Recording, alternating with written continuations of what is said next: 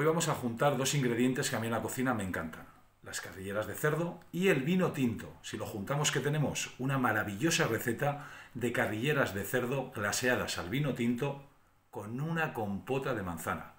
No os lo perdáis porque os voy a decir exactamente cómo preparar este plato. ¿Dónde? Aquí. Hasta luego.